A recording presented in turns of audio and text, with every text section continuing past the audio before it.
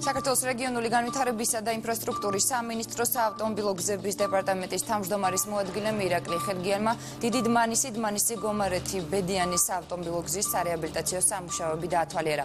გზის აღნიშნული მონაკვეთი დმანისის მუნიციპალიტეტის სოფლებზე გადის და 30 წელზე მეტია რეაბილიტაცია არ ჩატარებია. აღნიშნული გზის მონაკვეთი 1.4 კილომეტრია და მისი ღირებულება არის 3 მილიონ 159 ლარი. პროექტის ფარგლებში გამოისმება ასფალტობეტონის საფარი, ხელოვნური ნაგებობები, მოისმება კილოეტრები.